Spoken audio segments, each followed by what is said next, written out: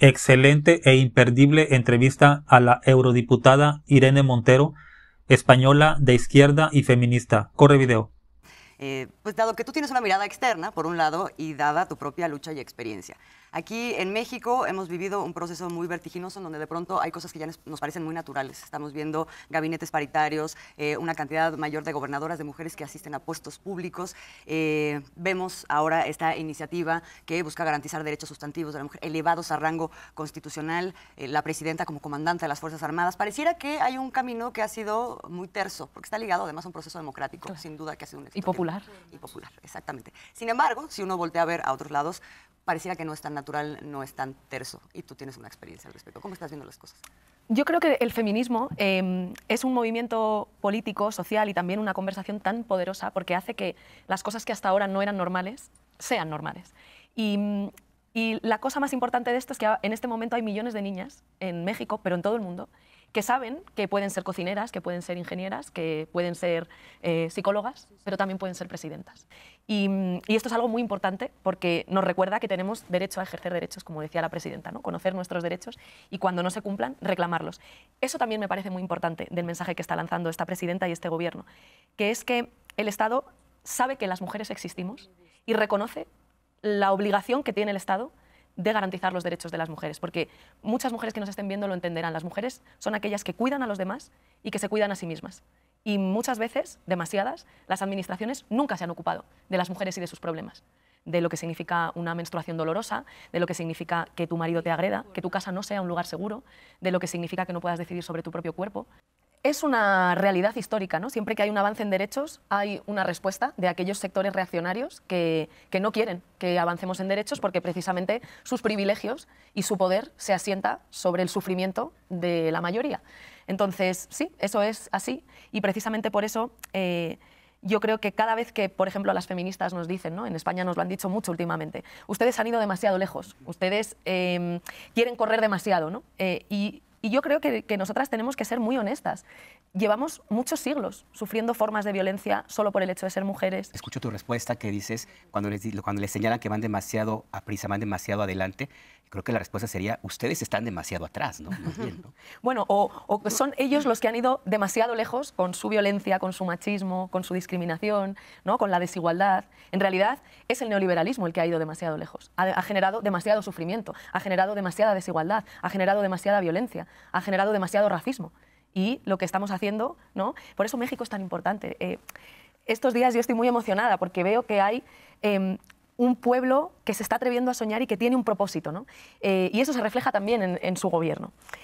Gobernar es gestionar, por supuesto que sí, y, yo creo que tanto el gobierno del presidente Andrés Manuel López Obrador como el de Claudia demostrarán esa buena gestión, pero también gobernar es tener un propósito, imaginar un país posible, un país mejor y trabajar para llevarlo a cabo sin descanso, ¿no? Con toda esa idea de mm, primero las pobres, por el bien de todas, primero las pobres, nos coordinamos pero no nos subordinamos, eh, no mentirás, no traicionarás jamás al pueblo, no puede haber gobierno rico sin con pueblo pobre. Ese es un propósito que le muestra al mundo que es posible cambiar las cosas. En un momento en el que, por ejemplo, en Europa hay un gran consenso de guerra, eh, una dinámica autoritaria que cuestiona los principios básicos de la democracia, una complicidad insoportable con el Israel pues México le muestra al mundo, igual que Colombia eh, o igual que Sudáfrica, ¿no? defendiendo al pueblo palestino, que las cosas pueden cambiar y que los pueblos tienen derecho a soñar y a construir con sus propias manos un mundo mejor. ¿Qué crees lo que ha hecho que aquí sea diferente de todo esto que estás describiendo? Porque digamos que hay una serie de ejes de desigualdades. Eh, la desigualdad de género es, una que también está muy introyectada en el, en el país. Sin embargo, este perfil, digamos, de derecha que incluye todo esto, eh, no, no, se ha enraizado, o por lo menos no ha tenido una, una, visibilidad como de pronto ahora lo estamos viendo en Europa. Te escuché decir, es el neoliberalismo y no puedo dejar de pensar, el feminismo necesariamente, o la igualdad, la idea de igualdad entre hombres y mujeres necesariamente está anclado en una idea que va más allá. esta izquierda o este progresismo que también interpela a otras cosas, no nada más al género. No, por supuesto. Eh, no lo sé, ojalá, yo creo que en eso tenemos que aprender nosotras. Me preguntabas, ¿qué, ¿qué lo hace diferente? Eso es lo que ojalá nos cuenten ustedes, ¿no? ¿Qué es lo que lo está haciendo diferente para que nosotras podamos aprender? Yo creo que tiene que ver con que este proceso tiene pueblo. En este proceso hay millones de personas implicadas a diferentes niveles y con diferentes niveles de responsabilidad, pero hay pueblo y obviamente también hay muchos retos. Eh, el, nivel de feminicidios, ¿no? el nivel de desigualdad. Precisamente por eso es necesario un gobierno del pueblo, porque hay muchas desigualdades que es urgente resolver.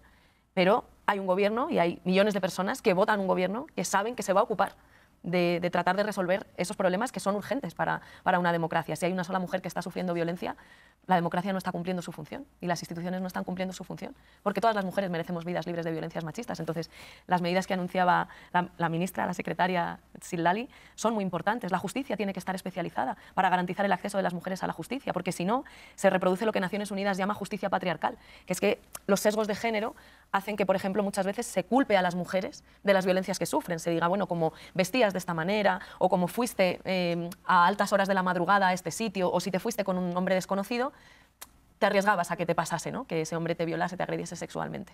Pienso ahora mismo en esta forma en la cual desde España se ha respondido por algunos grupos absolutamente antiderechos a la, a la propuesta del presidente, expresidente López Obrador y de la presidenta Claudia Sheinbaum de que exista un reconocimiento a lo que ocurrió hace muchos años y que no puede decirse que eso es parte del pasado, porque de una u otra forma está presente ahora mismo. Creo que tenemos el eh, la, eh, planteamiento del partido Vox. Alejandro Nolasco, vamos a verlo de México, a la que yo hace un momento he llamado analfabeta e ignorante, porque una de dos, o es analfabeta e ignorante o nos está tomando el pelo a todos y lo que quiere romper las relaciones con España. Porque no se puede decir que, nosotros fuimos allí a fastidiar las excelentes civilizaciones que había. Pero, bueno, ¿qué me está contando? Si había canibalismo, si aquello era algo mm, satánico, ¿no? Y a esto, Irene, así respondió la presidenta Sheinbaum, si nos permites. Por supuesto. Ayer, un representante de Vox dice la nueva presidenta de México, Claudia Sheinbaum, se ha comportado como una absoluta analfabeta y como una absoluta ignorante. Y aseguró que los españoles jamás vamos a pedir perdón. Pero miren esto. Pero es esta visión de que no tienen que pedir perdón porque vinieron a salvar a, las mexicanas y mexicanos. O esta idea de solamente el encuentro de dos mundos. No, hubo matanzas. Tan solo la del Templo Mayor un comentario sobre esto, Me parece una respuesta muy digna y muy comedida por parte de la presidenta Claudia Sheinbaum, honestamente. Yo creo que em, otras monarquías en Europa ya han pedido perdón por lo que, digamos, en, una, no sé, en un intento de corrección política han llamado abusos de la colonización que hay que llamar a las cosas por su nombre. ¿no? Audre Lorde decía, el silencio no te protegerá. el primer paso para, para que las cosas sean justas es llamarlas por su nombre. Y, claro que hubo violencia y claro que hubo matanzas. Y eso hay que reconocerlo. Y no, y no porque haya pasado hace 500 años eh, deja de ser más importante o más doloroso. Eh, para mí es mm, lamentable, eh, es, es, muy doloroso que, mm, primero, tener un jefe de Estado al que nadie ha votado. ¿no? A mí me gustaría pues que, que, en mi país pase como en el suyo y que podamos votar al jefe del Estado. Porque si representa al conjunto de los españoles y las españolas, debemos poder votarle. Pero me parece también muy lamentable que mm, ese jefe de Estado sea antes un protector de su familia, que es la monarquía borbónica, que representante del conjunto de los españoles, y España y México somos pueblos hermanos, eh, deberíamos poder mostrarnos respeto. Y, el rey ahora mismo es un problema para las relaciones internacionales de España basadas en los derechos humanos y en el respeto mutuo. Por eso es también tan triste ¿no? y, tan doloroso que el gobierno de España, eh, que además es del Partido Socialista, haya decidido condicionar nuestras relaciones internacionales con un pueblo hermano como es México en un tiempo histórico como este, ¿no? Eh, para defender los intereses de una monarquía corrupta. ¿no? En España Fíjense que no se pregunta por esto en las encuestas en España, porque, porque somos más quienes queremos elegir a nuestro jefe del Estado y quienes, y quienes no queremos que haya una monarquía corrupta ocupando, ocupando esa, esa posición. Y por supuesto que, que, tenemos que pedir perdón y que tenemos que hacernos cargo precisamente para tener esas relaciones de, de respeto mutuo ¿no? y no de subordinación. Irene Montero, qué gusto tenerte aquí. La eurodiputada vino a la toma de protesta de Claudia Sheinbaum porque Podemos se identifica con lo que está pasando en México con Morena, eh, desafió al gobierno de España de que decidieron no venir a la toma de protesta de, de eh, porque ellos dijeron nosotros sí entendemos que México tiene un punto al exigir disculpas. No vinieron a civilizarnos, eso, pero bueno, eso, eso es otro, eh, lo voy a decir más adelante. Lo que me llama la atención es que ella eh, se sorprende con lo que está pasando en México. Eh, eh, Azul Alzaga le pregunta qué, qué podemos aprender y dice, dice, de, dice Irene, ¿qué podemos aprender nosotros de ustedes, los mexicanos? Porque entiendo que en España no, no ha habido una mujer gobernante. en México ya lo hicimos y sí se puede. Y eso, eso que dijo ella de que que, México es muy importante, tiene toda la razón. El problema de los mexicanos, esto lo digo muy, muy a título personal, me puedes corregir, por favor, si no estás de acuerdo conmigo. Eh, somos muy acomplejados México, la mayoría de los mexicanos estamos esperando que vengan las respuestas de afuera y no creemos que nosotros podemos hacerlo, pero yo lo culpo por los gobiernos del pasado que eran muy entreguistas. Eh, así pasa con el papá de Carlos Salinas de Gortari, que fue el primer eh, secretario que, eh, de gobierno que venía, de gabinete, que venía egresado de Harvard. Entonces ahí empezó el problema del desmantelamiento del, del Estado mexicano para entregarlo a los, a, lo, a, los, a los privados, como bien dice ella, que el neoliberalismo ha, le ha hecho mucho daño al país. Yo te doy un ejemplo, porque muchos hablan de Cuba. Bueno, Cuba tiene atletas olímpicos, tiene, eh, crea vacunas, tiene medicina de, eh, de a nivel mundial. Pueden vivir mal o bien, no lo voy a defender, pero el problema es Haití, que está también ahí en el Caribe. Es una isla, es capitalista, cualquier empresa se puede instalar ahí, pero viven horrorosamente peor que los cubanos y es el, es el capitalismo, es el neoliberalismo. Hay un gran problema ahí. Eh, también habla sobre lo de la, eh, el perdón. Ella tiene razón.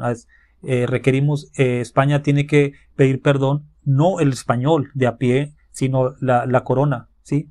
Así como em, el Estado mexicano ya se disculpó con las matanzas y masacres que han ocurrido en el pasado. Obrador no lo hizo, ni Claudia, pero alguien tiene que tomar, eh, hacerse responsable. También me acuerdo de los brasileños en los 50 creo, vinieron a aprender de los mexicanos de, de, de Pemex y se llevaron todo el conocimiento y fundaron Petrobras.